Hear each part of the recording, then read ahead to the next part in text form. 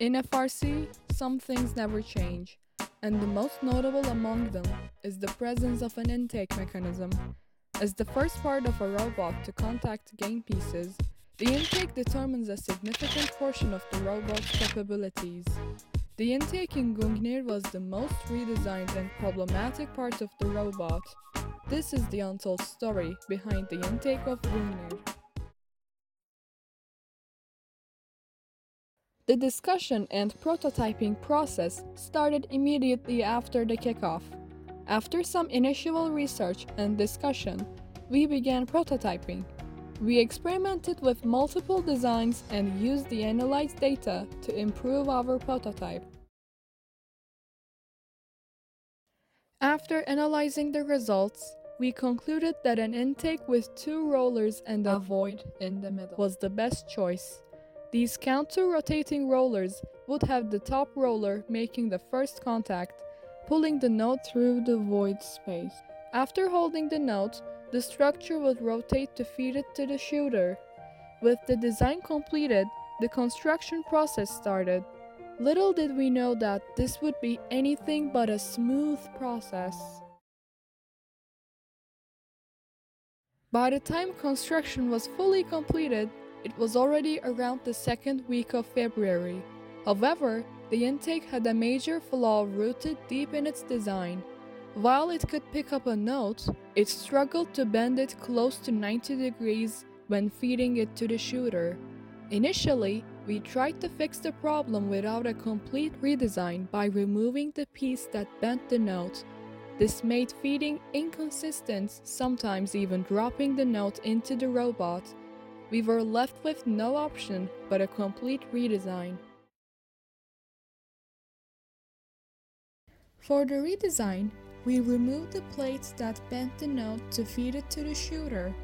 An angled plate was added to hold the note in place while guiding it to the middle of the mechanism. The front roller was moved back while maintaining the opening in between. This allowed feeding without bending, but meant the bottom roller would hit the note first, which could prevent note pickup at high speeds. Fortunately, this issue only occurred at near full speed, which was not a significant problem. Our first regional took place in mid March. During one of the matches, the intake mechanism was hit by another robot, causing catastrophic damage. Back in the pit, with another match just minutes away, we did all we could to repair the intake. These attempts were mostly successful, but the incident highlighted that the intake, although very rigid, completely fell apart when it reached its breaking point, dealing with heavy damage to its surrounding components. With the East Bay Regional coming up in less than a week, we faced some problems. The current intake was too fragile and had no chance of surviving in East Bay, where robots are much more robust than those in Turkey we opted for another complete redesign, creating an intake that would pick up the note and guide it all the way to the shooter without pivoting.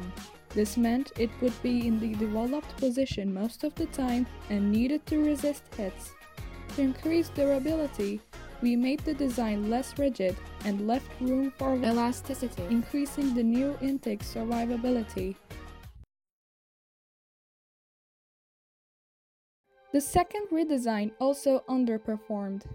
The motor was right behind the first set of rollers, blocking notes intaking from the sides.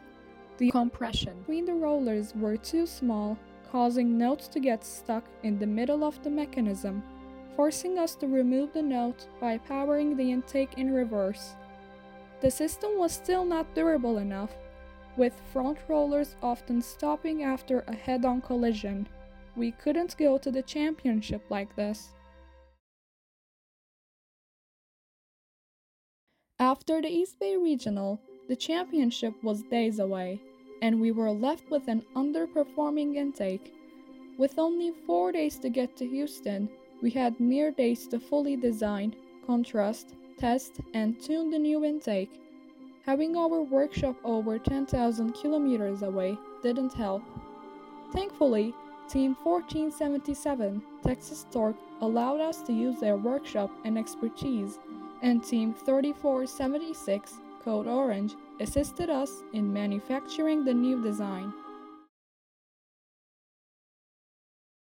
For the championship, we needed a robust yet effective intake. The second redesign's direct note pass through technique proved worthy, so we decided to use a similar design while fixing the pass through problems. First, we increased the intake's elasticity, resulting in increased durability. Second, we changed the path the note takes from the intake to the shooter for a more seamless pass through. Third, we moved the pulleys transmitting power to all rollers to the outer side of the mechanism, preventing note from getting stuck inside. Fourth, we replaced some rollers with smaller ones, making it easier for notes to travel through. The journey of designing and perfecting the intake mechanism for Gungnir was a testament to our team's resilience, creativity, and collaborative spirit.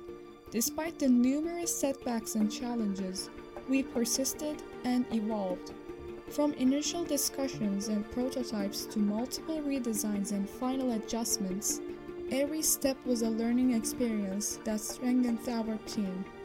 The intake mechanism went from being the most problematic part of our robot to a symbol of our determination and innovation.